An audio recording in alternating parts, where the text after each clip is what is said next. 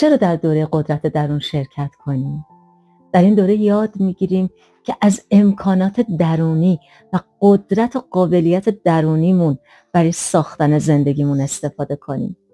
چون خیلی از ما شرطمون برای موفقیت اینه که به فلان مهارت برسم فلان فرد باید حامی من باشه انقدر باید پول داشته باشم همه اونا در صورتی می‌تونه در خدمت من باشه.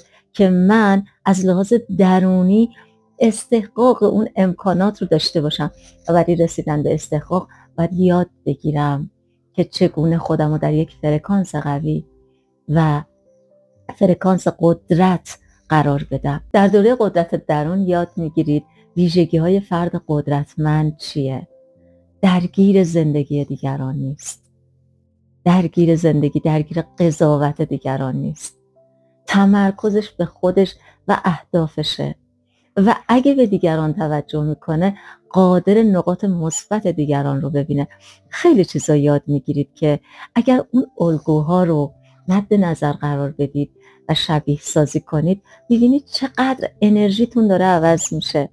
و بالا رفتن سطح انرژی یعنی رسیدن به موقعیتی که شما قدرت اثرگذاری بالایی دارید. به این ترتیب تلاش و دقدقه و نگرانیتون برای اینکه در آینده چه اتفاقی میفته خیلی کمتر میشه. فردی که قدرت درون بالایی داره ترسهاش خیلی کمه. در واقع اگه ترسی در ذهنش فعال بشه قادر باش روبرو بشه بگه خب در اون شرایط چه کاری انجام میدم؟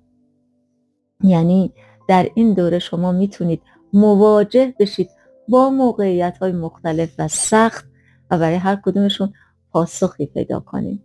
ما خودمون رو برای روزای سخت آماده نمی کنیم در بهترین حالت آدما وقتی آموزش می‌بینن فقط برای روزهای مثبت و موفق خودشون رو ذهنیتشون رو برنامه ریزی می‌کنن.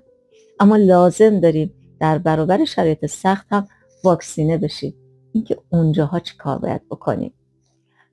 این دوره رو همه آدمایی که می‌خوان سالم و موفق زندگی کنن قدرتمند زندگی کنن نیاز دارن.